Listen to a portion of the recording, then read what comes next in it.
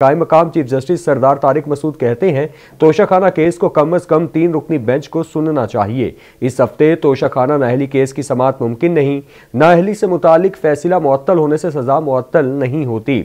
हमारे सामने दरख्वास्त है कि तोशाखाना केस का फैसला मुअत्तल हुआ तो सजा भी खत्म हो। फैसला मुअत्तल होने से सजा खत्म होने की कोई अदालती नज़ीर पाकिस्तान की तारीख में नहीं मिलती। अदालती नज़ीरें मौजूद हैं कि जब मखदूम जावेद आशमी के फैसले के खिलाफ भी सजा खत्म की गई थी। वकील शहबाज खोसा के जवाबी दलाइल, उन्होंने कहा कि पूरी कौम इस केस को देख रही है, जिसमें बानी पीटीआई को तीन साल के लिए नाअहल किया गया। इस हवाले से मजीद तफसीत जानते हैं। नुमाइंदा कैपिटल टीवी निसार आबिद से। जी निसार आबिद, अपडेट कीजिए।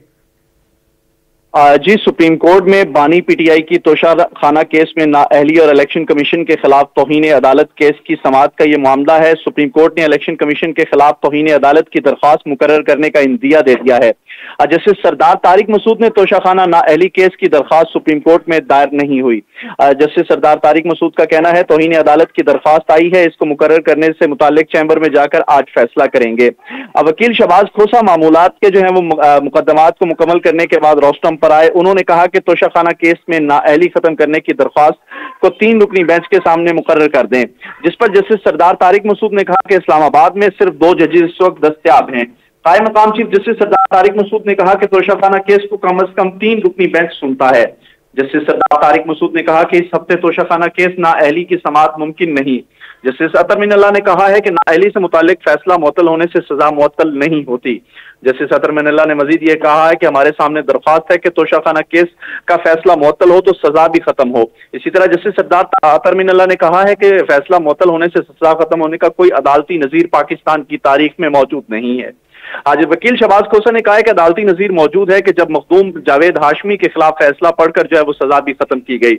इसी तरह शबाज खोसा ने मजीद कहा कि पूरी कौम को इस इस केस को देख रही है जिसमें बानी पीटीआई को तीन साल ना अहल किया गया। शबाज खोसा ने मजीद कहा कि अदालत देखकर कैसे हमायूं दिलावर ने एक ही दिन में पाँच बार जो वो समाप्त करके सजा सुनाई। जस्टिस सदर अल्लाह ने कहा कि आप ऐसी दरख्वास्त लेकर आए हैं जिसकी मिसाल पाकिस्तान की तारीख में नहीं मिलती। जस्टिस सरदार तारिक मसूद ने कहा कि आपकी दरख्वास्त को दो रुकनी बेंच सिर्फ़ खारिज कर सकता है। इसी तरह जस्टिस सरदार तारिक मसूद ने मजीद भी कहा है कि दो रुकनी बेंच आपको अबूरी रिलीफ भी नहीं दे सकता क्योंकि हाईकोर्ट में डिवीज़न बेंच का यह फैसला है। जिससे सरदार तारिक मसूद ने मजीद कहा है कि क्या पता ये केस अहम नुकात पर हो और इसकी समात पाँच रुकनी बेंच करे।